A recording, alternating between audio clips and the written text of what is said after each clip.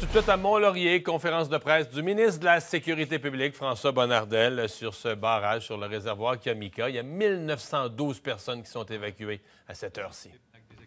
Collègue Chantal Janot, député, avec moi, Martin Ferland de l'Environnement, Denis Bélanger du MSP, qui est avec moi aussi. Donc, euh, voici un peu le portrait euh, qui est à jour ce matin. On, parle donc de au moins 700 personnes là, qui sont donc de ces, de ces évacuations. On parle d'à peu près 100 résidences sur le territoire, surtout le chute Saint-Philippe et, le lac des Écorces, lac Saguet. Il y a une personne donc qui a été euh, évacuée de ce, de ce côté. Pour ce qui est des centres d'hébergement, on parle de plus ou moins 70, qui sont à, 70 personnes pardon, qui sont à l'hôtel euh, depuis, depuis quelques jours déjà. 75 aussi qui sont personnes qui sont dans les auberges de la région. Pour ce qui est du reste de ces gens, ces gens sont soit chez des amis, partis dans la famille ou à l'extérieur de la région pour euh, le moment.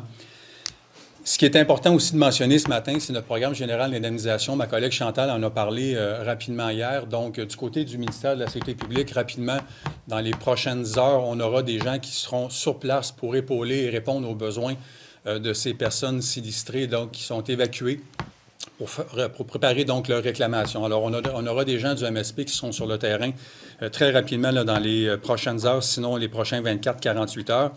Je veux rassurer aussi, euh, messieurs les maires, qui sont touchés par cette évacuation.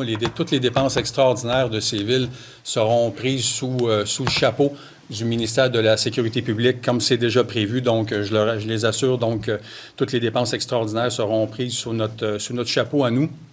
Je veux remercier les gens de la Sûreté du Québec. On parle de 70 à 80 effectifs additionnels qui sont présents sur le terrain euh, jour et nuit pour s'assurer aussi de sécuriser les demeures, les résidences des gens qui ont été évacués. C'est important. Euh, on est à l'hôtel, dans l'auberge ou autre, chez la famille, puis euh, est-ce que ma résidence est bien, est bien protégée? Donc, les gens de la SQ le font présentement.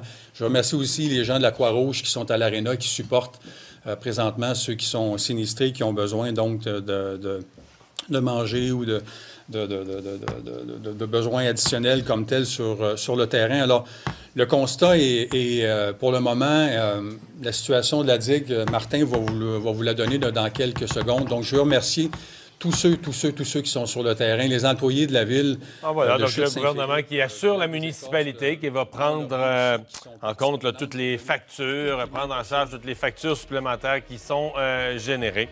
On n'aura plus de détails dans nos bulletins. Emmanuel, Philippe Vincent, merci d'avoir été là. On reprend ça demain. Au revoir. Au revoir.